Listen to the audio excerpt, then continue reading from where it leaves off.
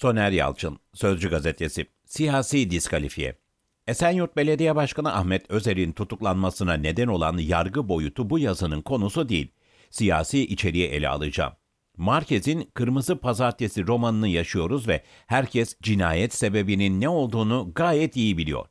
Eli kanlı Öcalan'a el uzatıp telefon görüşmesi yaptı diye seçilmiş belediye başkanının eline kelepçe vurmanın siyasi boyutunu evet kanımca ülkede bilmeyen yok. Ekrem İmamoğlu otoriter iktidarların karşısına çıkma potansiyeli olan, halk arasında popülerliği bulunan bir adayın önüne çeşitli yollarla engeller koyması siyasi engelleme, siyasi yasaklama ya da siyasi baskı olarak adlandırılır.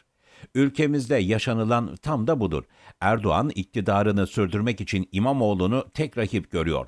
Erdoğan kazanamayacağı belli Kılıçdaroğlu'nu devreye sokarak geçen seçim iktidarını korudu önümüzdeki seçim için ne tür planlar yaptığının yine görülmeyeceğini mi sanıyor? Her iktidar kuşkusuz muhalefeti alt etmek için mücadele verir.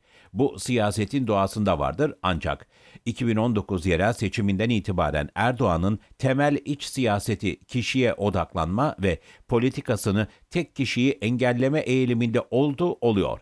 Kafasında başka düşünce yok. Medyası eliyle de hayli kişiselleştirmiş siyaset yapıyor ne olursa olsun İmamoğlu'nun adaylığını engellemek. Siyasi literatüre göre iktidarın potansiyel rakibini saf dışı bırakmak veya rekabeti kısıtlamak için seçim sürecini ya da adaylık koşullarını manipüle etmesine demokratik baskılama veya rekabeti kısıtlama denir. İktidarı bu tür stratejisini genellikle güçlü rakibini yargı, siyasi ya da bürokratik engellerle seçimden men etme yoluyla gerçekleştirir.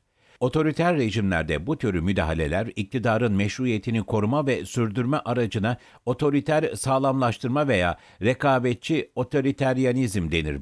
Böylece iktidar siyasi rekabeti kontrol altında tutmak istiyor. İktidar kendini tehdit eden potansiyel rakiplerin önünü kesmek istiyor. İktidar seçmen tercihlerini etkilemek için itibar suikastlerinden bile geri durmak istemiyor. Türkiye'de özellikle son 5 yılda yaşanılan tam da budur. Ülke siyasi dinamiklere bakarsanız iktidarın muhalefetin popüler adayı İmamoğlu'nu engellemeye yönelik adımlar attığını, politik diskalifiye yapmak istediğini görürsünüz.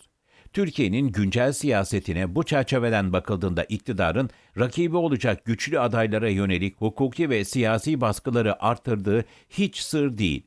Böyle bir ülkenin demokrasiyle yönetildiğini, ülkede demokratik bir iktidarın olduğunu kimse iddia edemez askeri darbe dönemlerine benzedi ülke. Neoliberalizmin demokratik sistemleri tasfiye eden seçim mühendisliği virüsü ülkemizde hayli etkinleşti. Bunun liderliğini kuşkusuz Erdoğan yapıyor. Evet, Türkiye'de son yıllarda muhalefet adaylarının siyasi hayattan uzaklaştırılması ya da itibar kaybına uğratılması amacıyla hukuki mekanizmalar sıkça kullanılıyor.